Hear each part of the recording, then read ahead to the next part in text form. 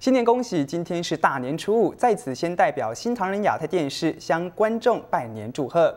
就在收假的前夕，今天民众明显感受到气温下降。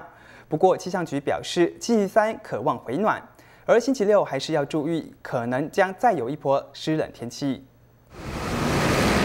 随着年假接近尾声，晴朗高温的好天气也转为湿冷。昨晚开始受东北季风的影响，气温骤降，白天温度降幅达到七至八度。民众的口罩、羽绒衣、围巾等御寒装备都带上身。气象局表示，明后天东北季风的强度会逐渐减弱，温度将小幅回升，高温可望来到二十五度。北台湾的话，大概可呃跟今天相比回升到三到四度左右，大概可以来到二十到二十二度。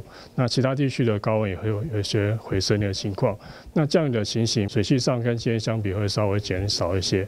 不过在不过在东半部跟北部地区，还有中南部的局部地区，还是会有些短暂的情形。不过在七号礼拜五之后，受到另外一波封面通过，周末天气将转为湿冷。这个地温大是十二十三度左右的星星，水汽上也比较偏多，因此七号呃八号到十号这几天，在中部以北还有东半部。会有些短暂雨，那中南部的山区也会有一些短暂雨。明天好天气迎接上班后，气象局提醒民众，这周末如果要外出赏花，记得携带御寒衣物和雨具，以备不时之需。新唐亚太电视胡宗涵、张玉华，台湾台北听不到。